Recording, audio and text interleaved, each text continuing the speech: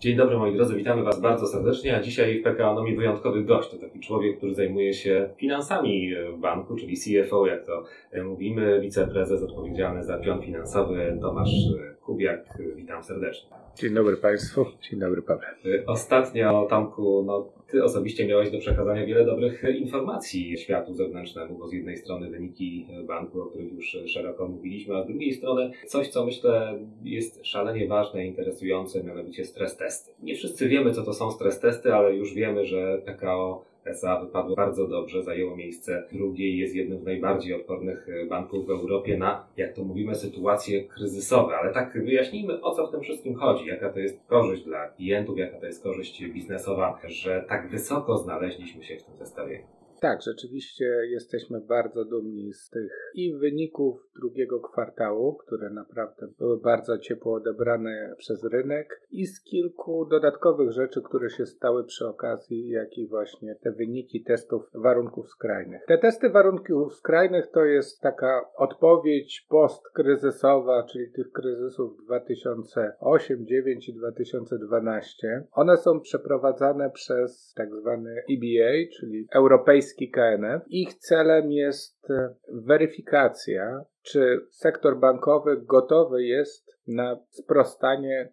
kolejnemu kryzysowi, potencjalnemu oczywiście kryzysowi, który może mieć miejsce, bo wiadomo, że banki mają bardzo ważną rolę w gospodarce, nie tylko kredytowania jej, ale również dbania o bezpieczeństwo oszczędności. Tak naprawdę, jeżeli pomyślimy, czym jest kapitał w banku, to oczywiście z punktu widzenia akcjonariusza kapitał jest tym, na czym y, oczekuje zwrotu jego inwestycją, ale z punktu widzenia wszystkich innych depozytariuszy w szczególności, czyli osób, które powierzają bankowi swoje oszczędności, kapitał jest buforem bezpieczeństwa. To znaczy, tak długo jak bank posiada wysoki kapitał, to ten kapitał będzie absorbował wszelkie potencjalne straty, które ten bank może w złych warunkach makroekonomicznych ponieść. Europejski nadzór postanowił wziąć 50 największych grup kapitałowych w Europie i zweryfikować, jaka jest wrażliwość de facto ich kapitału, czyli jak bardzo ten kapitał będzie malał w przypadku sytuacji stresowych. Technicznie to się nazywa wrażliwość tak zwanego kapitału tier 1 na warunki stresowe, czyli porównanie jak bardzo pomniejszy się albo jak się zmieni ten kapitał w warunkach stresowych w stosunku do stanu początkowego albo scenariusza bazowego. No ale tak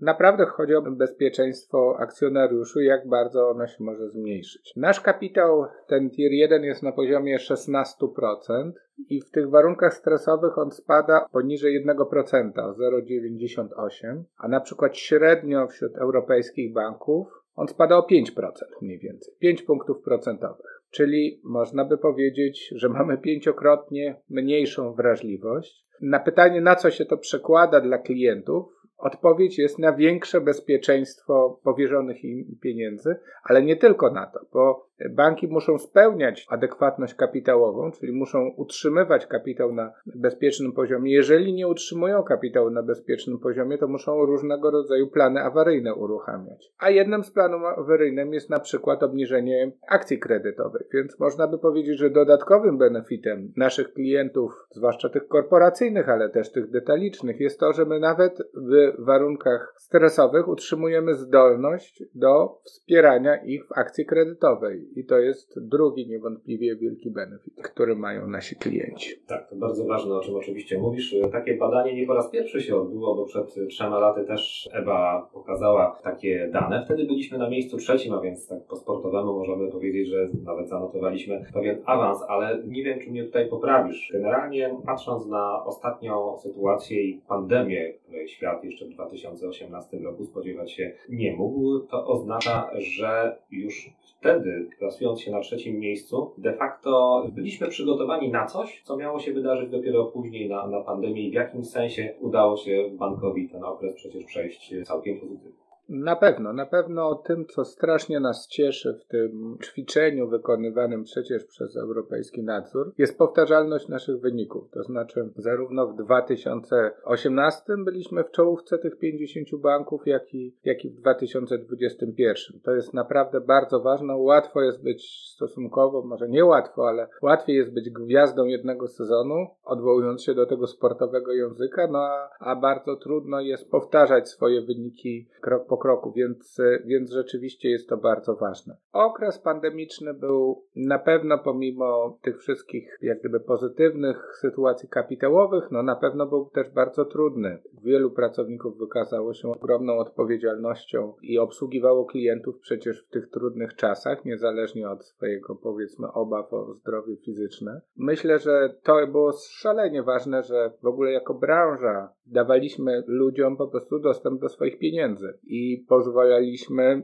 żeby gospodarka się dalej kręciła i myślę, że to należy nazwać jako rzeczywiście bardzo ważny aspekt naszej działalności. Oczywiście od strony finansowej zysk netto spadł o, nie ma co ukrywać, 50%, czyli na pewno nasze wyniki mocno odczuły to ze względu na zarówno spadek stóp procentowych, jak i, jak i dodatkowe odpisy. Natomiast rzeczywiście adekwatność kapitałowa, jak wychodziło w stres testach, nie ucierpiała na tej sytuacji. No trudno znaleźć nawet e, dzisiaj zbyt wiele banków, które nie miały na przykład kwartalnej straty w swoich wynikach finansowych, czyli które nie miały takiego kwartału, gdzie by odnotowały stratę. A my nie jesteśmy nigdy na granicy straty. My naprawdę te wyniki, nawet w tych trudnych e, pandemicznych okresach, staramy się dowodzić na takich przyzwoitych poziomach. Nasze ROE co prawda spadło, ale dalej to jest poziomy typu 4-5%, poniżej których nie schodzimy, więc takie powiedzmy